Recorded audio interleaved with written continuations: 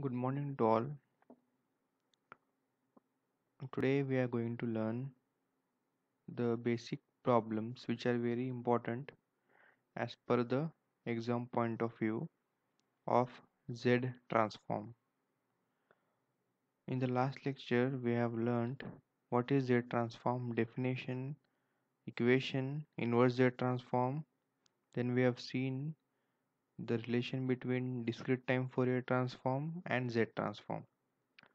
So today we are going to learn some four, six to seven problems which are important okay on Z transform without region of convergence okay so the part of region of convergence we are going to take it in the next upcoming lectures okay so before finding out the region of convergence we are going to find out the Z transform of x of n okay?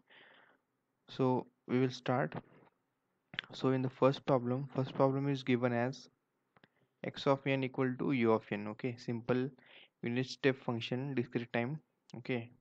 We have to find out the z transform. So we can see that this is u of n okay? So it's basically unit step signal. It has value unit value for every sample okay up to n. So now first step is that we have to write down the formula of z transform. So x of z equals to summation of n equals to minus infinity to plus infinity then x of n and then z to the power minus n. So just put down the values. We have to put the values of x of n and we have to see that our limit changes or not. So in the x of n we can say that there is unit step function u of n. So limit will change. Okay as there is only u of n single value the limit will change from 0 to infinity. Lower limit will be 0 upper limit will be infinity because the unit step function starts from 0 ends to infinity. Okay so summation will be n equal to 0 to n equal to infinity okay? Into 1 for x u of n okay? Because for, for the value from 0 to infinity u of n is 1 so write down only 1 and z to the power minus n as it is. This is as it is. Now in the next step we are going to take uh, the sign of this n inside because we want as we are already getting this summation part which is 0 to infinity. We just need the power to be positive so that the output will be 1 upon 1 minus a. So this is a. This is a to the power n. So we already know that summation of n equals to 0 to infinity. A to the power n is equals to 1 upon 1 minus a. So answer will be simple. It will be 1 upon 1 minus z inverse okay? That's it. This is the z transform. So in the next upcoming lectures we are going to find out the region of convergence. Region of convergence basically means it is a term which states that which gives the representation of convergence of a signal. Means the finite ability of the system. You will let i will let you know in the next lectures okay? Second problem second problem is important one x of n equals to minus u of minus cn minus 1 okay? So there is a basic time shifting. Hmm? so we need to see how we are going to draw this okay this much spectrum okay? We have to keep this as it is. We no need to simplify the minus term. We just need to find out this and we have to find out the z transform of this term okay? So as we know that unit step function u of n is i have shown here simple function. Then we, u of n minus 1 okay? Just it's a basical basically a right handed sequence okay? N minus 1 means we have to shift the signal to 1 okay? So this will be your u of n minus 1 okay? So it will start from 1 2 3 and 4 okay? It will not in the 0 in the earlier one the signal will start from 0 to 3 okay and then in u of n minus 1 we need to shift in the right hand side by 1 so signal will start from 1 and will and it will end to 4 okay? So now our question is what? U minus u of minus uh, n minus 1 we have already seen u of n minus 1 so now what is u of minus n minus 1 okay. So as it is indicating this minus it indicates it's a left hand sequence. Okay. Left hand sequence. So just we have to mirror. Okay. We have already seen in the convolution part. Okay. Graphical method. Wherever there is a time shift okay sign change in the u of n it we have to take the mirror. Okay so this is the mirror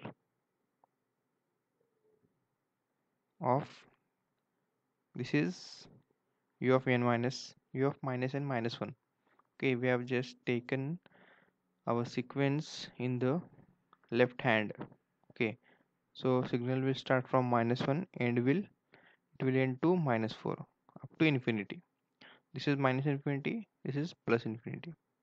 So also as there is introduction of u of n step signal with time shifted step signal we have to change the summation values okay? Initial and final. So this is about the waveform. Now we will start. First step we have to write down the formula of z transform. I've written here. Next step we have to put the values okay? So as there is u of n okay this term we have to put this term okay. We have to take minus as it is outside and just we have to put the values for this okay. We have to change the summation okay limits of summation. Summation will be from as in you can see in this sequence our signal will start signal starts from minus 1 okay. And it will end to minus infinity. Okay. So lower limit will be minus infinity. Upper limit will be minus 1 okay. Lower limit will be minus infinity. Upper limit will be minus 1 so now in the next step we have to write down the changed limits. Okay. So lower limit will be n equal to minus infinity because it signal will end to here only okay? And signal will start from minus 1 okay? Upper limit. And minus as it is as I told okay? Because here is minus we have kept as it is okay? Because if we have taken this minus into account then what will happen? This sequence will be seen somewhere here okay in the negative half cycle. So that would be more what we called as complicated to solve okay. That is the only reason why we have taken minus outside okay. So now minus outside then z to the power minus n as it is okay. U of this u of minus n minus 1 will be 1 for this summation okay so no need, no need to multiply it. So in the next step we have already seen in the discrete time Fourier transform examples. Okay. We have seen that we can exchange the limits okay without changing the sign. Okay limits changed without sign change okay. This is the advantage of summation. We cannot change the limits in integration but we can change the limit in summation okay without changing the sign. So now just exchange the upper limit and lower limit. So the lower limit will be minus 1 upper limit will be minus infinity and minus z to the power n as it is. So but we need this okay for the solution. So this has lower limit 0 upper limit infinity both positive okay power is also positive. So here our both the limits are negative power is also negative okay? So just manipulate the this equation okay? Manipulate means just edit it okay? By put n equals to minus n okay? So when we put n equals to minus n this will become positive. This will become positive lower limit this upper limit will become positive and then this power will also become positive okay? So in the next step we can see that when we put n equals to minus n so n equal to minus n means minus n equal to minus 1 will be n equals to 1 and n minus n equal to minus infinity which is n equals to infinity okay? So, so summation of n equals to 1 to infinity okay then minus as it is and z to the power n because we put n equals to minus n. So now the this is not satisfied yet okay. Lower limit has n equals to 1 we need n equal to 0 so for that we have to again manipulate this equation okay after manipulating. So how to manipulate? Already we have seen in the discrete time Fourier transform numericals okay. So what we need to do? Just put n minus 1 equals to m okay. So what will happen? n equals to m plus 1 so this is basically n minus 1 equal to 0 okay. So just put it equals to m. So what will be put n equals to n minus 1 okay. Then m. So n will be m plus 1 okay? Just it will positive become positive okay? So, so the summation will be changed now okay? So as already said put n minus 1 equals to m. This is the m okay m and then infinity okay? This will become 0 as it is.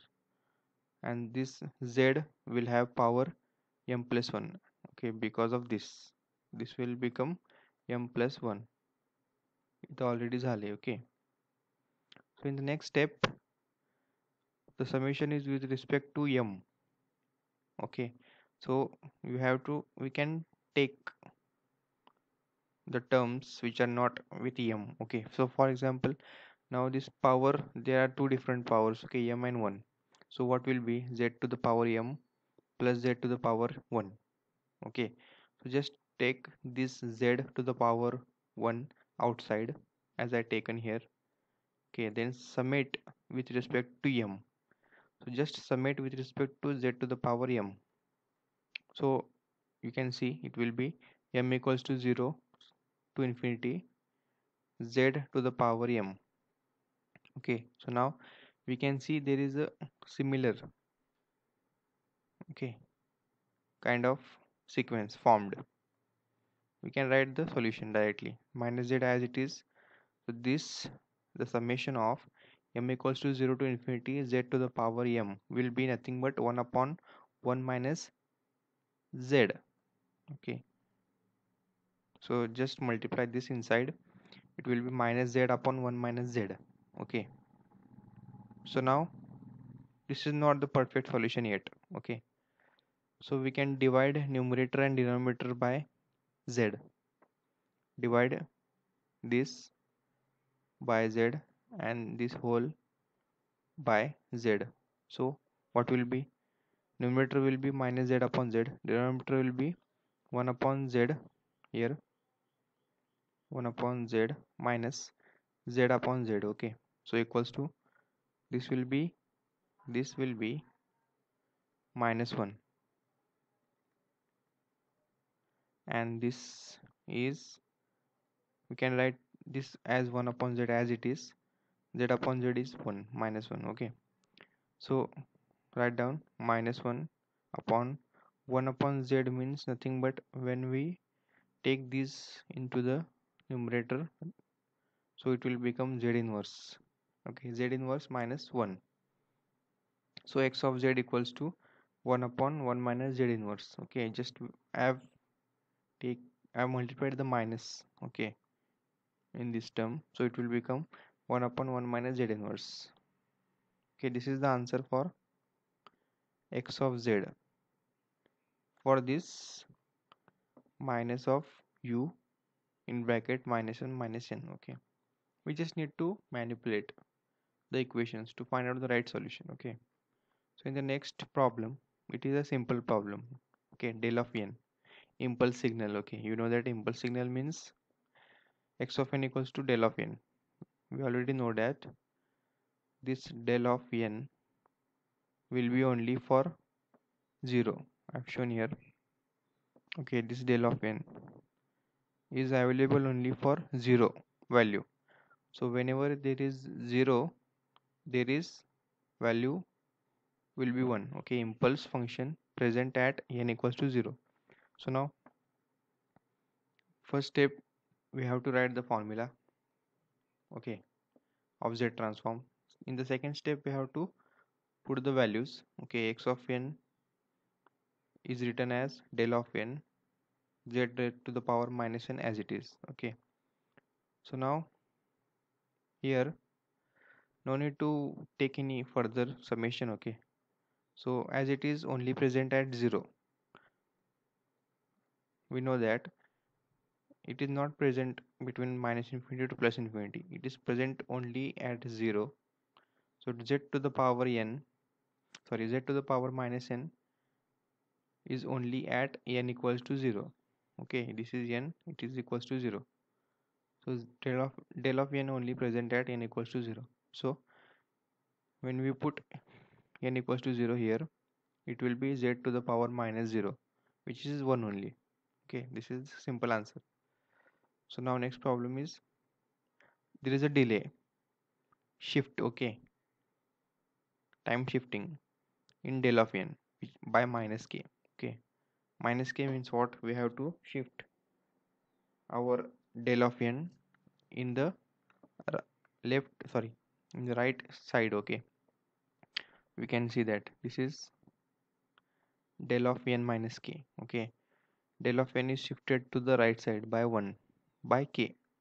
So for k del of n will be 1 okay so write down the formula of z transform then put the value of x of n. So now we know that our del of n minus k is available only for the value k. Okay? For k it is 1 otherwise it is 0 so just no need to simplify. Okay summate we just need to put z to the power minus 1 minus n okay at n equals to k. Okay because this is only present at k. So now after putting n equals to k z to the power minus k. That's it okay? This is the solution. Next problem is x of n equals to a to the power a or alpha into u of n okay? We know that u of n is the sequence okay unit step discrete time signal okay? Now we have to find out the z transform. First of all we have to write down the formula of z transform. Then we have to put the value of x of n okay? So x of n what is given as x of n? Alpha to the power n u of n. Just write down. So as it is as there is u of n in the sequence present there will be change in the limits of the summation or integration. So limits will change from minus infinity to plus infinity will change to 0 to infinity. The lower limit will be 0 upper limit will be infinity okay? And this alpha to the power n remains as it is u of n will be 1 okay? Because for this sequence for this summation it will be 1 okay? And then z to the power minus n as it is okay? So now the power is quite common to both the terms alpha and z. So just this is not that common but if we take z inverse then power will, be plus n.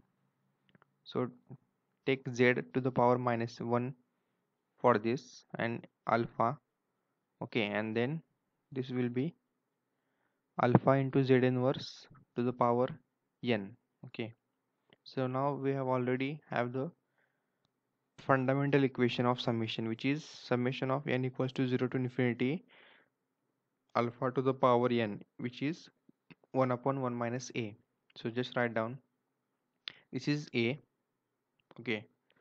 So 1 upon 1 minus this a as it is.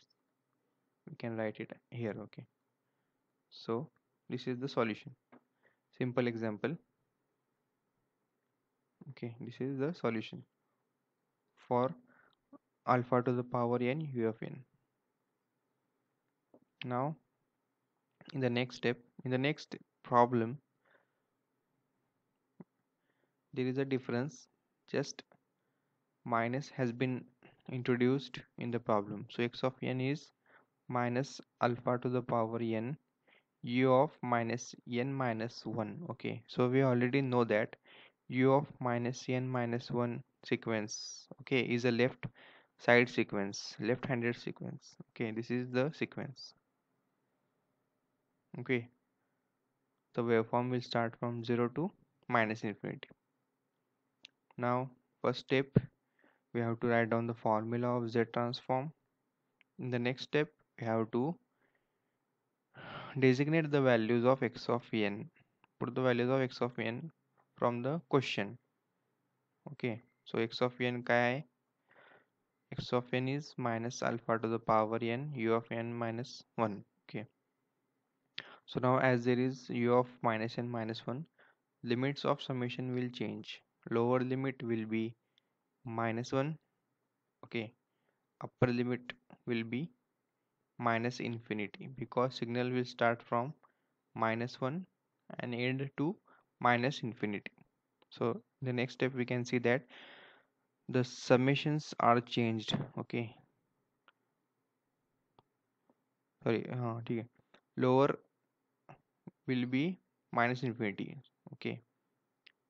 And upper will be minus 1 okay? This is lower this is upper okay? Sorry sorry. This is lower okay if it is if the signal will be here in the right sequence then upper will be infinity. So upper will be minus 1 because minus 1 is greater than in minus infinity. So lower level is minus infinity upper level is minus 1 then alpha minus this minus as it is okay. And alpha to the power n as it is this will become 1 for this sequence okay? For this summation for this summation this will be 1 so 1 as it is. No need to write down the 1 okay? Minus alpha to the power n z of minus n okay? So now again the power okay? The powers are quite similar okay? You just need to take this z inverse so that it will become plus n okay? So now alpha and z inverse to the power capital to the power small n okay? So alpha and z inverse common to the power n okay? So we need to put n equals to minus n because there is minus here okay and minus here also. So as we done in the earlier previous problem same procedure put n equals to minus n. So lower limit will be positive it will be plus 1 take the minus outside okay. Then upper limit will be also positive plus infinity. Then alpha z inverse. To the power minus n okay as it is. So now we need to so now this will this will become minus n okay because it is plus already here. So now in the next step as our power is negative and lower limit is uh, not zero we have to again manipulate the equation so just put n minus 1 okay this is n minus 1 equals to 0 so put n minus 1 equals to m. And then m and so this n will be m plus 1 okay. So the lower limit will be n minus 1 means m equals to 0 okay so m equals to 0 then upper limit will be as it is infinity. Then alpha z inverse to the power minus okay put n equals to m plus 1 this in this power okay. So it will be minus m plus 1 okay. So now we have to substitute the or multiply both the powers okay with this coefficient. So after multiplying what will happen? This will remain as it is because power is 1 okay. So I have taken an advanced step okay to reduce number of iterations okay minus as it is outside so this when multiplied with this one is taken already outside because there is no m. And that is why because we have summation from m to infinity okay? So this will be alpha to z inverse power minus 1 as it is okay? Outside. So summation m equals to 0 to infinity. We have to take the summation of the like terms okay the like term will be alpha z inverse to the power minus m. Okay second one second of substitution. Okay now this as it is outside summation of m equals to 0 to infinity. Okay this is so we have got the fundamental equation which is this one. 1 upon 1 minus a is the solution for that. So this is a this one is a. This is n. So summation is so answer will be 1 so as this is outside we have to multiply it. So it will become 1 into this. Okay so alpha power minus 1 z as it is 1 upon 1 minus this is a. This one is a okay 1 upon 1 minus a. That's it okay. So now this is not a perfect solution yet okay. So we have to multiply by alpha multiply both numerator and denominator by alpha into z to the power minus 1 so this will be multiplied by alpha z inverse and this will be multiplied by alpha z inverse okay. So what will happen? This will be 1 as it is minus outside this is 1 okay upon because this and this will get cancelled this and this, will get cancelled okay so it will remain 1 so in the denominator so denominator will become alpha z inverse minus if you multiply it this term with this term it will become 1 okay. Same in the numerator this will become 1 okay? So just multiply this negative sign. In this it will become 1 upon 1 minus alpha to the power z inverse. That's it. This is the solution. For minus alpha to the power n u of minus 1 minus n minus 1 okay? So last problem of today's lecture. X of n equals to 7 in bracket 1 upon 3 to the power n u of n minus 6 in bracket 1 upon 2 to the power n u of n. Okay there are two sequences. We have to find out the z transform of both the sequences. Okay so now x of z. X of z. First of all write down the formula of z transform then substitute the values okay of x of n so summation of n equals to because x of n is there u of n is there the summation will become 0 to infinity. So summation will be n equal to 0 to infinity. Okay take a common.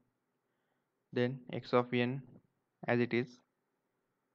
Okay no need to write down this because it is 1 and z to the power minus n as it is. Okay now we have to take the like terms and take constant outside. So 7 will be outside the summation. So 7 summation of n equal to 0 to infinity. Okay. Summation of this. And this is going to multiplied okay. So it will be 1 upon 3 into z in to the power minus 1 bracket to the power raised to n. Okay. Minus 6 outside. Then summation of n equals to 0 to infinity. 1 upon 2 into z inverse okay to the power n. Okay i've taken an advanced step here also because both the powers are n just sign difference. So i've taken z inverse okay and then the power will be n and the power of both this one and this one will become plus n so we can take this common okay. So 1 upon 3 z inverse common power n okay. Both the terms. Now we have already the fundamental equation ready. We just need to find the solution which is 1 upon 1 minus a. This is a okay. So just write down 7 as it is because it is outside means 7 upon 1 minus a. Okay. This one is a. Okay your a term. Minus 6 upon 1 upon 1 minus this one is a. Okay as it is. Okay. This is the solution. Okay. So we have taken seven examples today and in the next upcoming lectures we are going to find out the region of convergence. Means the region where the signal becomes finite. Okay. So till then stay home stay safe okay? Take care all of you. Okay have a nice day